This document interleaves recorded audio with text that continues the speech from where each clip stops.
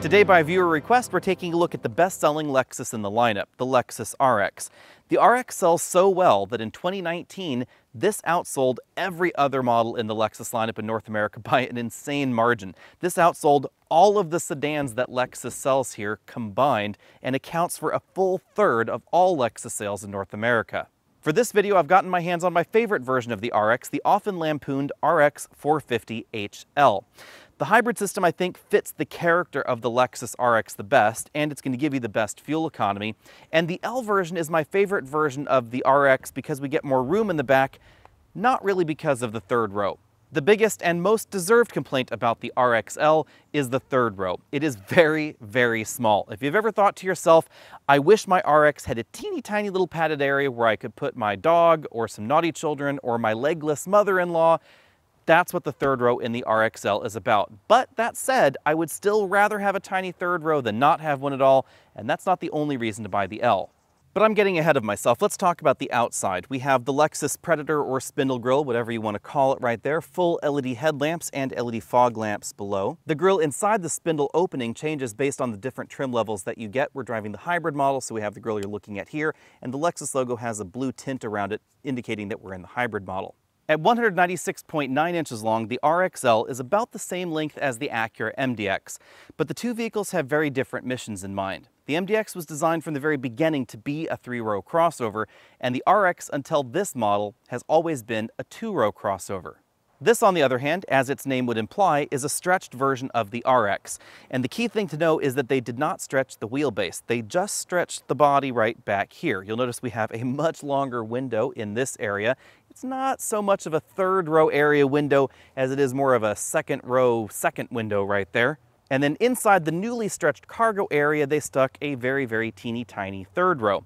But this stretch solves one of the other problems about the regular RX, which is the cargo capacity. It doesn't have a great deal because of the swoopy profile that we found in this generation of the RX. If you get the two-row version, cargo capacity comes in at around 18 to 19 cubic feet or so. That's significantly below many of the other two-row crossovers out there. So if you're cross-shopping a regular RX against something like a BMW X3 or an Audi Q5 or a Volvo XC60, they have a much bigger cargo area in the back but in steps the RXL and it has nearly double the cargo capacity. The spindle grille theme from up front is mimicked out back with the shapes going on here. We have full LED tail lamp modules, including LED amber turn signals, but we don't get the sequential LED amber turn signals that we do find in other world markets. That particular implementation is not allowed in the United States, unfortunately. At the bottom of the bumper, you won't find any visible exhaust tips. They're tucked up under the bumper, but we do have what sort of looks like an homage, perhaps, to an exhaust tip. Lexus continues to be very aggressive at bringing a lot of the latest driver assistance features down into every trim level in the lineup, and for 2021 they've sweetened the pot a little bit for the RX, making blind spot monitoring and rear cross-traffic detection standard. That's in addition to all the features that were standard before, like radar adaptive cruise control, pre-collision autonomous braking, the automatic high beam system, and the aggressive lane centering. Whether you get the short RX or the long RX, the hybrid or the non-hybrid, you'll find a 3.5 liter naturally aspirated V6 engine under the hood. In the non-hybrid model, it's tuned to 295 horsepower and it's mated to a standard 8-speed automatic transmission, sending power either to the front wheels or to all four wheels. If you get the hybrid model, then power goes down, but combined power goes up thanks to the addition of three electric motors, two up front and then one in the rear. That gives us a combined horsepower output of 308. More important than the power bump to most people will be the fuel economy. That comes in at 30 miles per gallon combined if you get the short RX, 29 if you get the long version. A key thing to keep in mind if you're debating between the all-wheel drive version of the non-hybrid and the all-wheel drive hybrid is that the hybrid system does not use a mechanical all-wheel drive system. Instead, this uses one of Lexus's E all-wheel drive setups where there's an electric motor in the rear. This electric motor is rated for just under 70 horsepower, and the important thing about that is that this system can never send as much power to the rear axle, even when the front wheels are slipping, as the non-hybrid model can. And therefore, it's going to feel quite different out in slipperier situations, whether you're doing mild off-roading, or you're in mud, or you're in sand, or you're out there on snow or ice. Unquestionably, the E all-wheel drive system is going to be much more capable than a front-wheel drive RX, but generally speaking, it's not quite as capable as the regular all-wheel drive system. Now let's dive into the seats. The front seats are pretty comfortable in the RX for longer road trips. I ended up doing a long road trip down to Santa Barbara in this to drive the all-new Nissan Rogue. Be sure and check that video out. But these seats are not as adjustable as most of the mainline European competition. So we don't find inflatable bolsters or extending thigh cushions or available seat massage or anything like that. Just a two-way lumbar support and a three-position memory over there on the door. But the passenger seat has about the same range of motion as the driver's seat. The RX is available as a 5, a 6, or a 7 passenger crossover. The 5 passenger version is a short one. The long one is available with either 6 or 7 seats. This one is the six seat version, so we have captain's chairs here in the second row. They are a little bit more comfortable than the bench seat, but they're not as bucket shaped as I thought they would be. They do have more of a range of motion, so if I scoot this forward, just for the purposes of demonstrating the recline, you can see how reclined they are.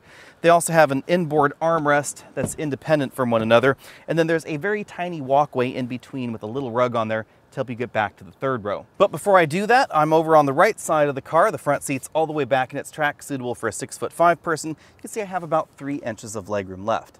And now we come to the emergency seats. Again, bear in mind this front seat is all the way back in its tracks. I had three inches approximately of legroom right there with that second row.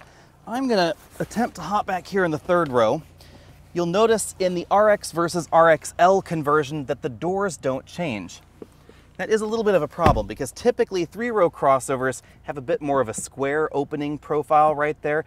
And this definitely has a rake right here that makes it so that you end up bopping your head on there quite frequently compared to something like the MDX. Then I'm gonna need to kick off my shoes for this and practice my yoga poses because if we try and move this seat all the way back, then you will notice that the second row seat back is actually touching the third row seats, and let's just say this isn't possible. So instead, let's talk about what might be possible. So if I were to try and sit back here, admittedly with my knees practically in my chest, and then give myself, ooh, no leg room at all, knees touching that seat back right there, head right there against the ceiling, Let's see where the other seats in the car would need to be. Although before we move up there, I should mention that the third row gets its own climate control zone, which is a little bit unusual. We have two zones up front and those same two front zones control the middle area here, but then the third row gets its own zone with two tiny little air vents, one on each side. I've relocated this seat to the same position as the one on the other side so we can see how this fits. And, you know, I suppose I might be able to do this sitting right here behind myself. I have maybe half an inch, a quarter an inch of legroom here. I could sit a little bit further forward and you absolutely could put six people in here if you had to in a pinch.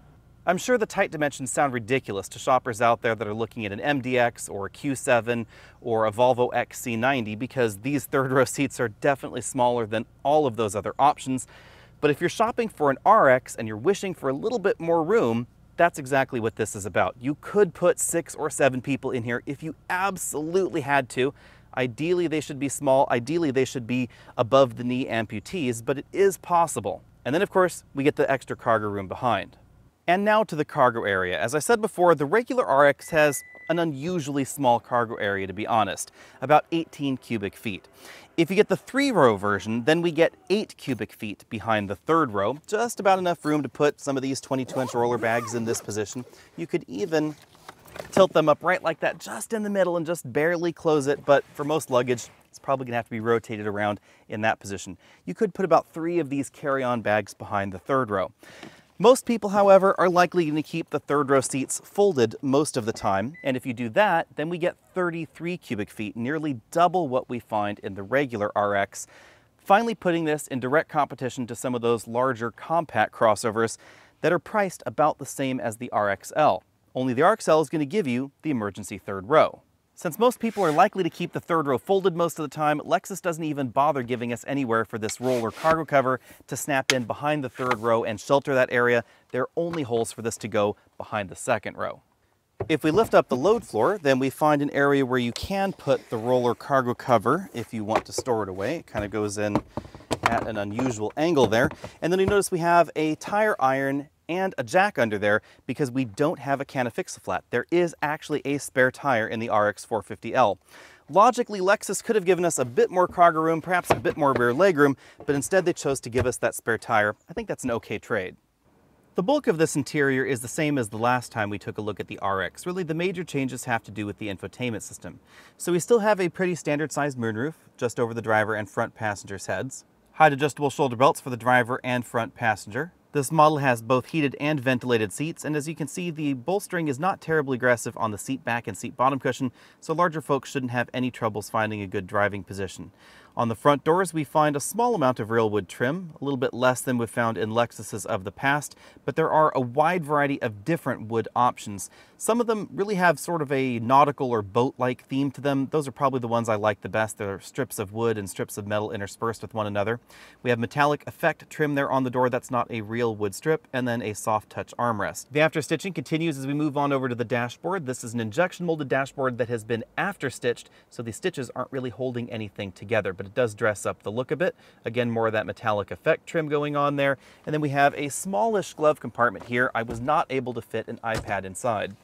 In the middle of the dashboard, we find the infotainment system LCD. This has been relocated to be a little bit closer to the driver and front passenger, and most importantly, it's now a touchscreen. You'll notice that versus the launch of this generation RX, the bezel around the screen has changed a little bit.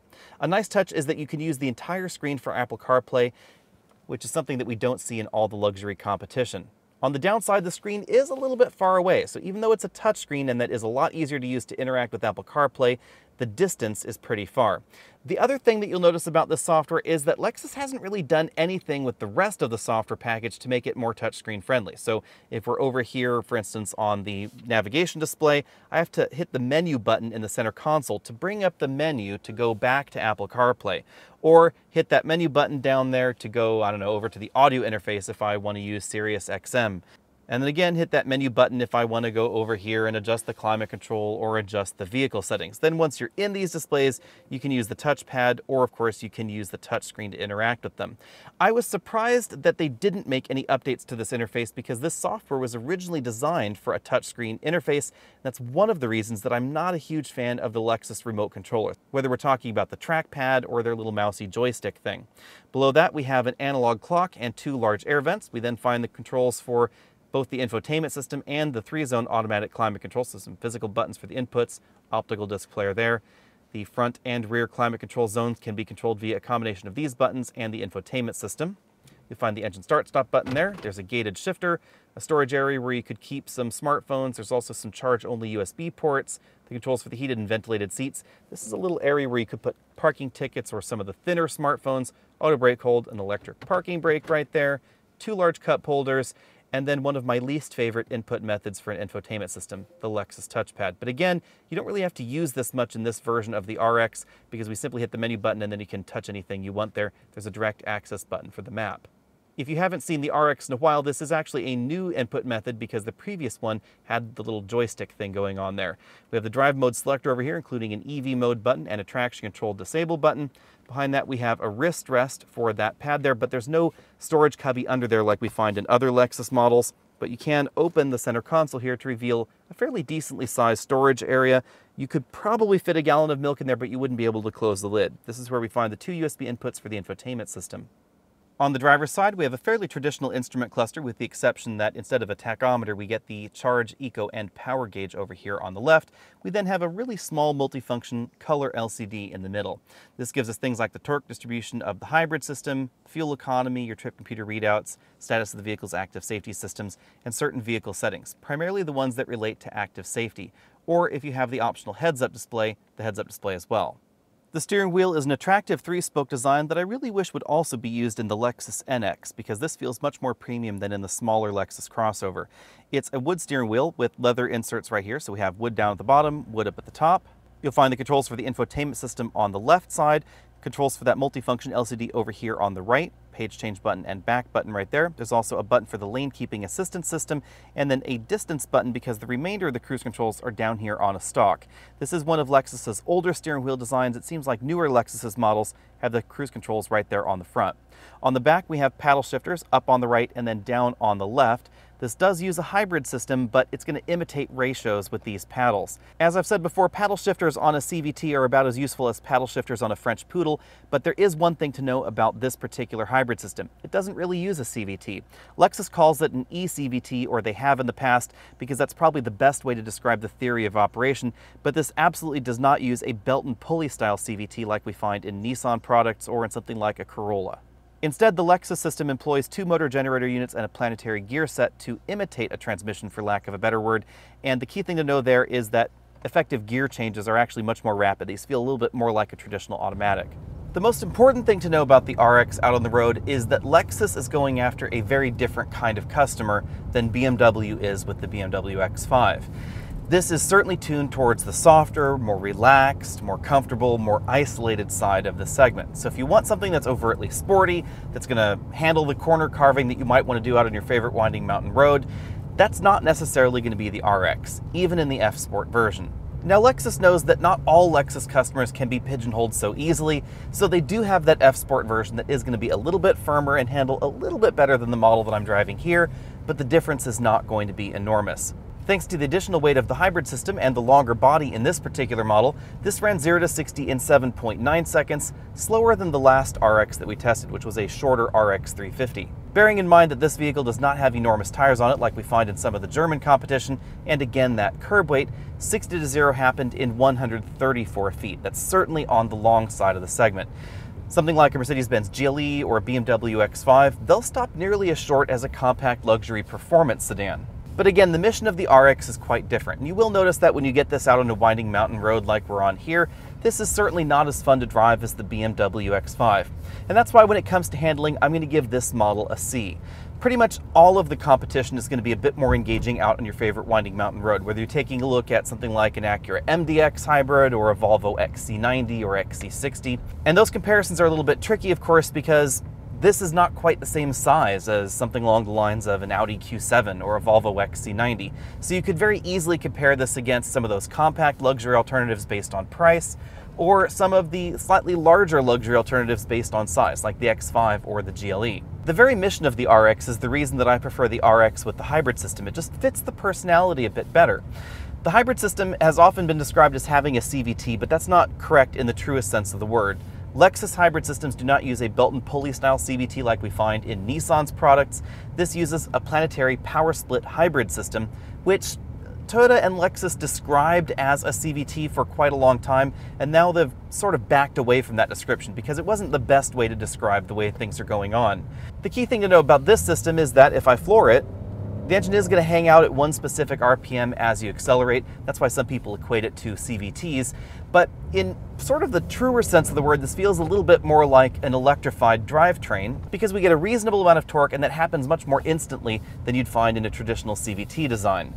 With this hybrid system, it's important to remember that while we get over 300 horsepower total, the vast majority of that is happening on the front axle. So this is never going to feel like the Volvo XC90 plug-in hybrid.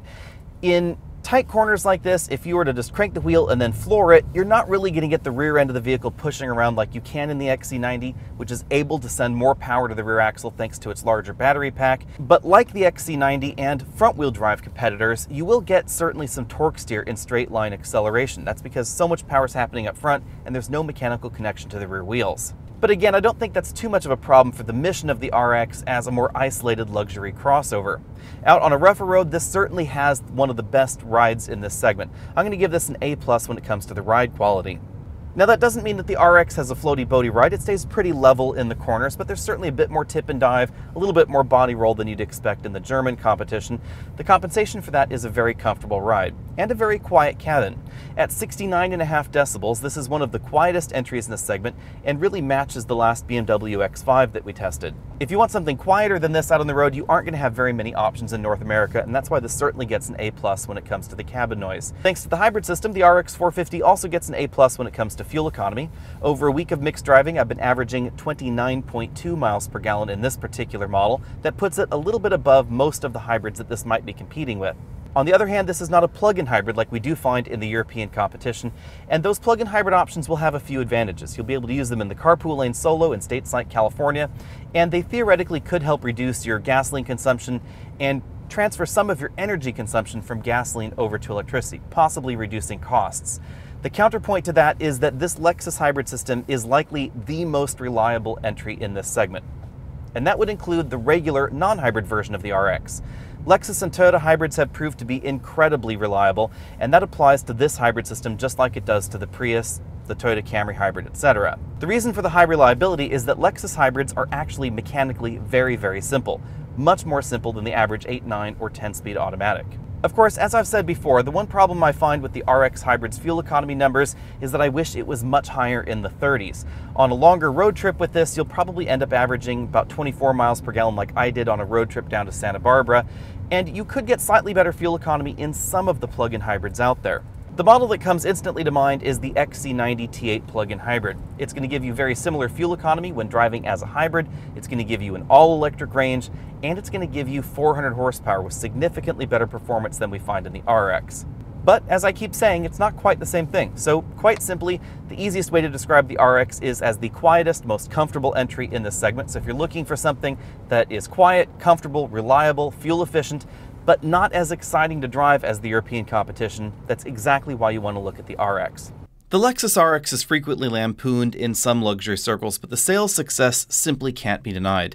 The RX is the best selling luxury crossover in the United States. It outsells the BMW X5 and the Mercedes Benz GLE combined. The RX sold so well in 2019 that it outsold the Acura MDX by about 2 to 1. Why is that? Well, pricing certainly has something to do with this. It starts at $45,070, about $15,000 less than most of the German alternatives. So clearly the RX is going to be a value alternative to something like an X5 or a GLE or even something like an Audi Q8. The RX also sells on Lexus's dependability and reliability reputation. Although it's difficult to predict any new vehicle reliability out there, chances are the Lexus is going to be the most reliable entry in this segment for 2020 and for 2021. So if you're planning on buying your luxury two-row crossover and you're going to keep it for 10 years or 12 years or 15 years, the Lexus RX is likely going to be less expensive all the way around. And then there's the nature of the RX. It's certainly more relaxed, more comfortable, more isolated than most of the European competition. So if that's what you're looking for, again, the RX is going to be a great choice. Comparisons for the RX can be a little bit tricky because there aren't very many options in the luxury segment that are the same sort of thing as the RX. Really, the closest I think we get is the Lincoln Nautilus, and that's going to be our first competitor here. And I think the toughest competitor because the Nautilus is about the same size. Lincoln is also clearly going for something that's a little bit more isolated, a little bit more comfortable, not quite as performance oriented as we find in the German options. But then on the other hand, Lincoln gives you the option of a 2.7 liter twin turbo V6 that is certainly going to be peppier feeling than the naturally aspirated V6 that we find in the Lexus. Lincoln has honestly had pretty decent reliability ratings overall. The Nautilus starts about $4,000 less than the Lexus, and although it might be a little bit less reliable than the RX, chances are you're unlikely going to see four or five thousand dollars worth of unreliability over a lifespan of about 10 years. On the other hand, if you're interested in saving gas, there's no hybrid version of the Lincoln at this time, but we do have two engines to choose from, the 2-liter turbo in the base model, 2.7-liter turbo in the up-level model. The interior is large and comfortable in the Nautilus, it has a bigger cargo area than we find in the Lexus RX, and although the interior is feeling a little bit dated for 2020, there's going to be a significant refresh coming for 2021, and the interior is getting a complete makeover to look more like the Lincoln Aviator and the Lincoln Navigator. Lincoln has not shared any official details on the 2021 Nautilus just yet, but there are a ton of spy shots out there on the web, so be sure and hunt those down. The big change inside seems to be the infotainment screen and the layout of the dash. It's getting a newer, wider format display, but I don't know what software it's going to get. And if it gets the same software that we see in the rest of the Lincoln lineup, and the same speed processor that we see, for instance, in the Lincoln Aviator, then the Lexus may have a bit of a benefit. That large display right there in the dashboard is definitely large and gorgeous. The input method does take a lot of getting used to, but I like the fact that we now have a touchscreen. Next up, we have the Acura MDX, which, to be honest, I've never really seen as a direct competitor to the Lexus RX, but oddly enough, Lexus thinks that it is, and so does Acura. And a number of people that I personally know that have bought either an RX or an MDX somehow cross shopped the other one. What's odd about this pairing is that the RX, until we got the RXL, has always been a two row crossover, and the MDX has essentially always been a three row crossover. Admittedly, the MDX does not have an enormous third row. It's not as big as the closely related Honda Pilot or as something like an Infiniti QX60, but it still has a much roomier third row than we find in the RXL. It seems that many folks that are shopping perhaps for something like the MDX are not really interested in a daily use third row. They're after something that's a bit more occasional use, or perhaps they don't even care about the third row at all. In this mashup, the Acura certainly has the value proposition going for it. It's $4,000 or so less expensive than the RX, and there's also a hybrid version available. But the hybrid is going in a different direction than we see in the Lexus hybrid. It's certainly after a more dynamic, interested shopper. The Acura certainly wins on price here. It's going to be several thousand dollars less than the Lexus, comparably equipped all the way on up the product line. Acura has their super handling all wheel drive system in the MDX available, and that really will make a big difference when it comes to handling. The MDX is certainly going to be more fun, it's going to feel more nimble out on the road, but the downside to the MDX at the moment is the 9 speed ZF automatic transmission. This is the same 9-speed auto that a number of other Honda, Acura, and FCA products have used. It's basically the same 9-speed that we find under the hood, for instance, of the Chrysler Pacifica.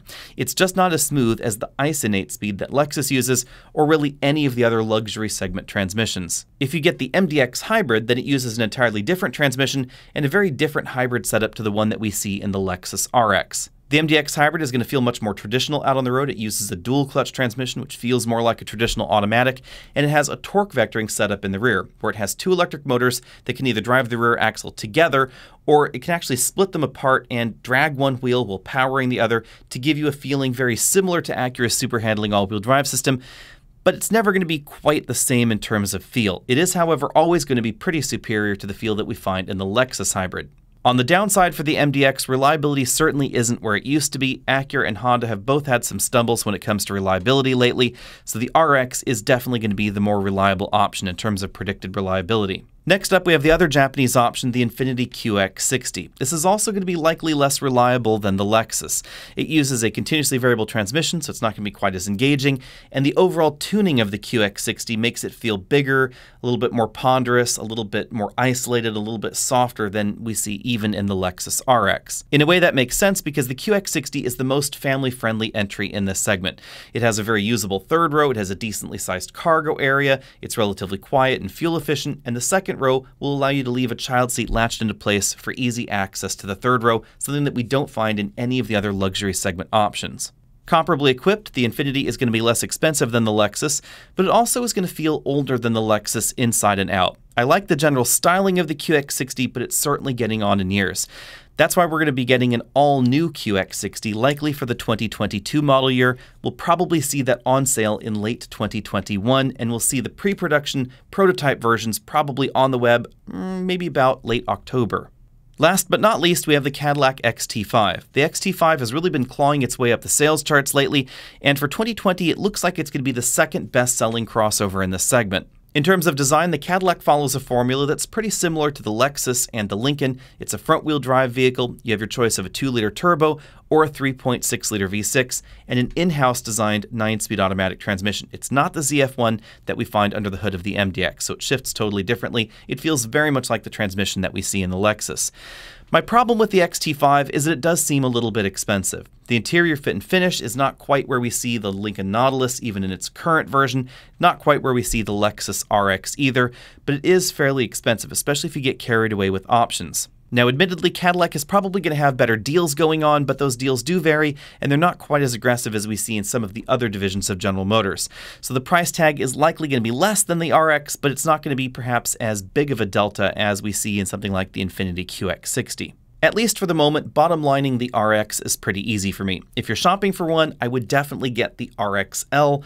Even if you're not planning on using that third row, the main reason for getting the L is the extra cargo capacity that we find in the back. And the regular RX does have a strangely compact cargo area compared to some of the other midsize options out there. And then, of course, there is that third row, because even though it's teeny tiny and seems almost useless, I would rather have an emergency third row than not have one at all. I think it's actually a great asset to the RX. Now, it absolutely does not replace Lexus's need to deliver a larger three row crossover, something that's more of a direct competitor competitor to the Lincoln Aviator or a BMW X5 with a three row or a BMW X7, a segment that is definitely getting very hot in America, but I would still get one with that teeny tiny third row just because it's more useful than not having one at all. But I have to admit, I would also wait for the 2021 Aviator to see what that would look like. I would also put the Lincoln Nautilus on your shopping list. We have that 2.7 liter twin turbo V6 available. That's certainly going to be peppier than any of the engines that we find in the RX. It may not have a teeny tiny third row behind the second row, but it does have a much larger cargo area than we find in the regular RX as well. It's going to be a little bit less expensive, and if you can wait till 2021, we're going to get that interior refresh. I'm really intrigued to see what that refresh exactly brings the Nautilus, because if it is basically a scaled version of the interior that we find in the Aviator, then it may be one of the best interiors in the segment. I already think it's a hair nicer than what we find in the Cadillac XT5, and if it brings, again, that scaled version of the Aviator, then it's possible that it actually may beat the Lexus in this segment as well. Be sure and let me know what you think about all that down there in the comment section below. And what would you pick if you were shopping in this segment? Would you be interested in something like the Lincoln, or would you be attracted perhaps by something like a Toyota Highlander, which is all new and less expensive than the Lexus while delivering definitely better fuel economy in its hybrid edition. Be sure and find me over at Facebook, over at Instagram, all those other social places, and I'll see all of you next week.